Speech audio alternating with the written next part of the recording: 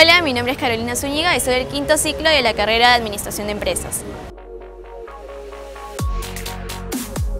El beneficio que me brinda ISIL de poder llevar cursos de libre disponibilidad es que puedo conocer un poco más de la especialidad en la cual me quiero desarrollar.